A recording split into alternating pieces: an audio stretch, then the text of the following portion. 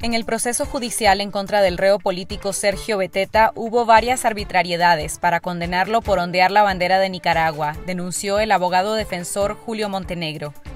Entre estas arbitrariedades detalló el cultivo de pruebas, falsos testimonios y distorsión de los hechos. Libertad para Nicaragua. Unidad es lo que queremos. Unidad es lo único que ¿Tiene, temor a la represión? No tengo temor. El preso político Sergio Beteta fue declarado culpable por supuesta aportación ilegal de armas y tráfico de drogas y está encarcelado desde el 21 de diciembre de 2020, cuando protestó en la Avenida Universitaria, ondeando la bandera de Nicaragua y quemando la del Frente Sandinista. A tal punto que cuando él llega, este, dice él que se sonríen los oficiales, eh, que le ponen la mochila y que le comienzan a sacar los paquetes. Y él dice, eso no es mío, eh, ahora es tuyo. No hay lógica que una persona que pide libertad de presos políticos o que pide la unidad de las fuerzas políticas vaya a andar con seis paquetes grandes de marihuana, de hierba seca, y vaya a andar con un arma en su cinto. Y más, quedándose tranquilamente y esperando que lo detengan. Entre los testigos presentados en el caso de Beteta están los policías que lo capturaron, quienes niegan que a la hora de su detención portaba la bandera de Nicaragua y que en la escena hubiese una bandera del Frente Sandinista en llamas pese a que todo quedó en video gracias a una transmisión en vivo del medio Artículo 66. El preso político de Masaya, Benjamín Gutiérrez Collado, también fue condenado a 14 años y 11 meses de prisión por el delito de supuesto tráfico de drogas. Se le impuso 790 días multa por portación ilegal de armas. Vea la entrevista completa con el abogado Julio Montenegro en nuestro canal de YouTube Confidencial Nica. Este jueves 11 de marzo se cumple un año desde que la Organización Mundial de la Salud declaró a la COVID-19 como una pandemia.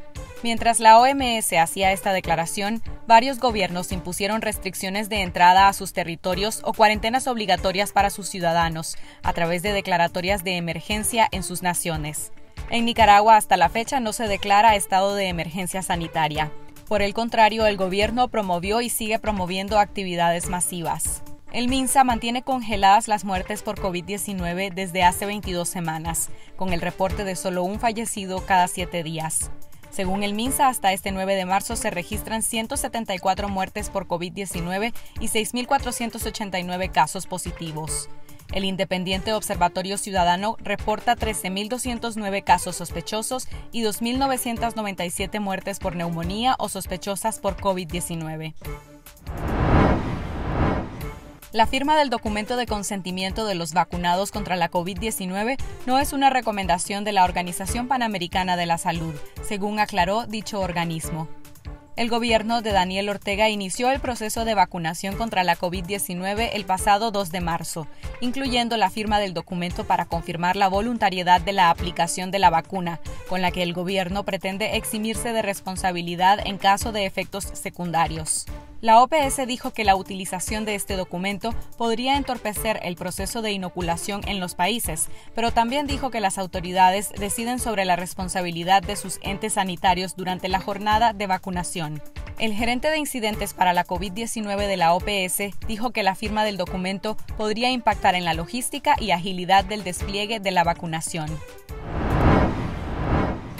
Los miembros del Consejo Superior de la empresa privada recordaron al régimen de Daniel Ortega que la reforma tributaria causó los daños que advirtieron previamente, expresaron en un comunicado.